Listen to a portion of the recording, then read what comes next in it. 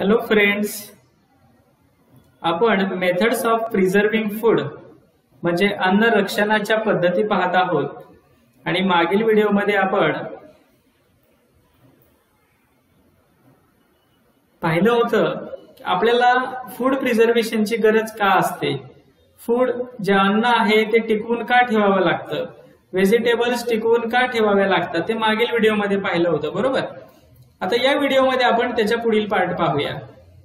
If we know the reasons why food stuffs go bad we would know what to do keep them from spoiling जर आपल्याला food stuff जे आहेत अन्न जे आहे अन्न घटक जे आहेत ते खराब का होतात हे समजत असेल त्याची कारण समजत असतील then we would know what to do to keep them from spoiling तर ती टिकून ठेवण्यासाठी ती खराब होऊ नये म्हणून काय करावं हे सुद्धा आपल्याला समजलं पाहिजे. From the information you obtain you must have gathered the following जर तुम्ही काही माहिती मिळवली असेल तर तुम्हाला या गोष्टी समजल्या असतील किंवा या गोष्टी मिळालेल्या असतील. तर काय आहे पहा इन विंटर विंटर म्हणजे कोणता सीझन हिवाळा ऋतू की ज्यामध्ये काय असते? थंडी असते खूप.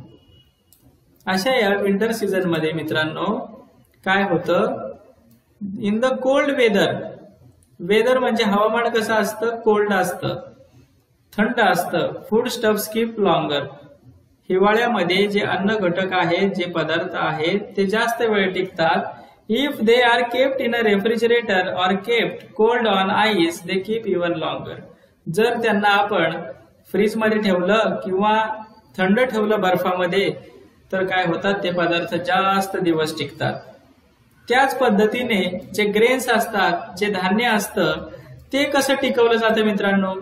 तुम्ही एक माहिती मिळवली असेल कोणती माहिती मिळवली असेल तुम्ही?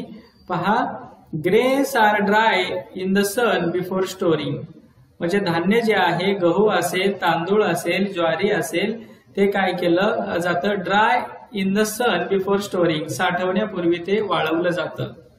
Onions and potatoes are kept to dry in the open air in summer कांदे जे असतात ते उन्हाळ्यामध्ये काय केले जातात? वाऱ्यावर हवेवर ठेवले जातात. बटाटे सुद्धा त्याच पद्धतीने उन्हाळ्यामध्ये हवेशीर जागे ठेवले जातात. आणि ते जेव्हा स्टोअर केले जातात तेव्हा ते स्टोअर करताना ड्राय प्लेस म्हणजे कोरड्या जागी साठवले जातात. आता हे झालं ग्रेन्सच्या बाबतीत. पण जे आपलं फूड आहे अन्न आहे तयार केलेलं मग त्याच्यामध्ये मिल्क असेल किंवा करीज म्हणजे रस्सा वगैरे असेल व्हेजिटेबल प्रिपरेशन म्हणजे घरात तयार केलेल्या भाज्या असतील तर त्या बऱ्याच वेळा काय केले जातात? If we boil meat it does not get spoiled immediately जर आपण मिल्क दूध उकळवलं तर ते पटकन खराब होत नाही. Curries and vegetable preparation are brought to a boil to prevent them from spoiling till the next next meal म्हणजे सकाळी तयार केलेलं अन्न आपल्या पुढच्या जेवणापर्यंत जर टिकवायचं असेल तर तो रस्सा असेल ती जी भाजी असेल ती बॉईल म्हणजे उकळवून ठेवली तर ती खराब होत नाही. Milk mango pulp are foods that spoil quickly म्हणजे जे दूध आणि मँगो पल्प सारखं जे अन्न आहे ते काय होतं? पटकन खराब होत असतं. पटकन नासत असतं. Our food has to be kept away from ants आपलं जे अन्न आहे ना ते अँड म्हणजे मुंग्या कॉक्रोचेस झुरळे अदर इन्सेक्ट जे कीटक आहेत इतर माईस घुशी माईस उंदीर रॅट्स म्हणजे घुशी आणि मांजरांपासून दूर ठेवलं पाहिजे नाहीतर ते सुद्धा आपलं फूड स्पॉइल करण्याची शक्यता असते. पुढे आपल्याला काय दिलेलं आहे? ट्राय दिस करून पहा. एक एक्सपेरिमेंट दिलेला आहे पहा. Divide a chapati into three parts जी चपाती आहे ना आपल्याकडची तिचे तीन भाग करा. Put one piece in a close box एक जो भाग आहे तिचा ते काय करा? बंद डब्यात ठेवा. Roast the second piece on a hot pan to make it crisp without charring it दुसरा जो भाग आहे ना तो काय करा? क्रिस्प या ठिकाणी पहा तुम्हाला वर्ड आहे नवीन. तर तो कुरकुरीत करा पण तो करपून देऊ नका. थोडस तव्यावर ठेवून तो काय करा कुरकुरीत करा कडक करा पण करपून देऊ नका. लेट इट कूल तो थंड होऊ द्या and put it in a box आणि त्याला काय करा बॉक्समध्ये ठेवून द्या. पुढे त्यानंतर काय करा तिसरा जो पार्ट आहे त्याचं काय करायचं आहे पहा. If possible put the third piece in a box and put it in the fridge तिसरा जो पीस आहे त्याला काय करा बॉक्समध्ये ठेवा डब्यामध्ये ठेवा आणि तो डबा फ्रीजमध्ये ठेवून द्या.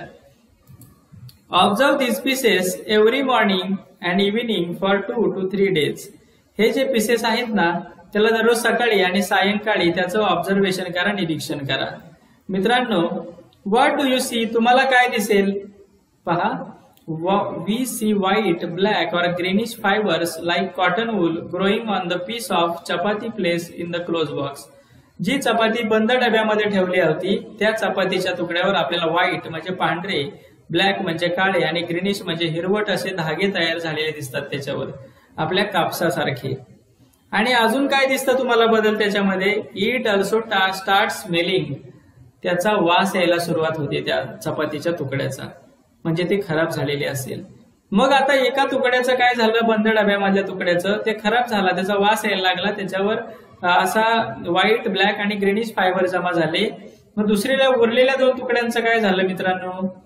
Whereas as for days days we see no such changes in crisp piece of chapati or the one that was put in the fridge जो तुकडा होता तो क्रिस्प म्हणजे कुरकुरीत केला होता वाळवला म्हणजे त्याच्यात तो हॉट गरम करून केला होता आणि कुरकुरीत केला होता त्याच्यात आपल्याला असे बदल पुढील काही दिवसांपर्यंत दिसणार नाहीत. किंवा फ्रीजमध्ये ठेवलेला जो तुकडा होता त्याच्यात सुद्धा फारसे असे बदल लवकर दिसणार नाहीत. वाय इज दिस सो असं का बरं? The cotton wool like fibres grow grow on the chapati is a kind of fungus ह्या ज्या चपातीवर बंद डब्यामध्ये चपाती होती त्याच्यावर जे फायबर्स आले होते जे तंतुमय पदार्थ निर्माण झाले होते ते काय होते मित्रांनो? तो एक फंगसचा प्रकार होता. फंगस म्हणजे बुरशीचा. आणि बुरशी काय आहे? A fungus is a type of micro organism fungus म्हणजे बुरशी हा सूक्ष्मजीवांचा एक प्रकार आहे. पहा चपातीवर अशा प्रकारची बुरशी तुम्हाला पाहायला मिळू शकते. तुम्ही जर मायक्रोस्कोपच्या खाली पाहिलं तर तुम्हाला ही अशी बुरशी पाहायला मिळते. Spores of the fungus are present in the air and water बुरशी जे आहे तिचे जे स्पोर्स आहेत ते हवेमध्ये आणि पाण्यामध्ये अस्तित्वात असतात. The chapati in the box created favourable conditions for the growth of the fungus जी डब्यामधली चपाती होती त्याच्यात फंगसच्या वाढीसाठी सगळं योग्य होतं. त्या ठिकाणी फूड अवेलेबल होतं वॉटर अवेलेबल होती एअर अवेलेबल होती आणि महत्वाचं म्हणजे वॉम्थ म्हणजे ऊब सुद्धा त्या ठिकाणी होती. काय होती त्या ठिकाणी? वॉम्थ वॉम्थ म्हणजे ऊब सुद्धा त्या ठिकाणी त्या चपातीला मिळाली होती. That is why the fungus grew on chapati in the box का चपातीमध्ये बुरशी लागली त्या चपातीला? कारण की तिथं अवेलेबिलिटी ऑफ फूड त्या बुरशीसाठी योग्य असं अन्न होतं वॉटर एअर आणि वॉम्थ म्हणजे ऊब होती. म्हणून त्या ठिकाणी बुरशी वाढली. पुढे पाहूया food and micro organisms you know that micro organisms are present all around us in the air as well as in water तुम्हाला माहिती आहे सगळीकडं काय आहेत आपल्या अवतीभोवती? मायक्रो ऑर्गॅनिझम्स म्हणजे सूक्ष्मजीव आहेत. मग हे कुठं आहेत? एअर म्हणजे हवेत सुद्धा आहेत. आणि वॉटर म्हणजे पाण्यात सुद्धा आहेत usually air moisture and warm are available where food is kept that it is always possible for micro organisms to grow rapidly in our food or food foodstuffs. म्हणजे ज्या ठिकाणी आपण अन्न साठवलेलं आहे त्या ठिकाणी एअर म्हणजे हवा असेल मॉइश्चर म्हणजे ओलसरपणा असेल वॉर्म म्हणजे उबदारपणा असेल थोडासा तर शंभर टक्के मित्रांनो त्या ठिकाणचं अन्न खराब होणार आहे कारण की त्या ठिकाणी मायक्रो ऑर्गॅनिझमची वाढ होणार आहे. We cannot see them we cannot see micro organisms but if they begin to grow पण हे मायक्रो ऑर्गॅनिझमची ग्रोथ व्हायला लागली our food get spoil micro organism वाढले की काय होतंय आपलं अन्न? खराब होतंय अन्न दूषित होतंय. आणि मग असं दूषित अन्न खाल्लं तर काय होतं पहा? Such spoiled food can cause a stomach ache पोट दुखायला लागतं असं अन्न खाल्लं की. डायरिया जुलाब होतात. ओमिटिंग उलट्या होतात. The nutrition value of such food is also reduce म्हणजे त्याच्यातून जे भेटणारे न्यूट्रियंट्स असतात त्यांचं प्रमाण खूप कमी झालेलं असतं. Sometimes it can even threaten life हे जे स्पॉइल्ड फूड आहे ते कसं असतं मित्रांनो? ते पॉइझन सारखं असतं. आणि जर पॉयझन सारखं हे स्पॉइल फूड आपण खाल्लं गेलं it can even threaten life एखादा व्यक्ती मृत्यूमुखी सुद्धा पडू शकतो. म्हणून असं स्पॉइल्ड फूड म्हणजे खराब झालेलं अन्न आंबलेलं अन्न शिळं अन्न जास्त प्रमाणात खायचं नाही. मित्रांनो याचा पुढचा पार्ट पुढील व्हिडिओमध्ये पाहूया. आपण तो सुद्धा व्हिडिओ मी अपलोड केलेला आहे. थँक्यू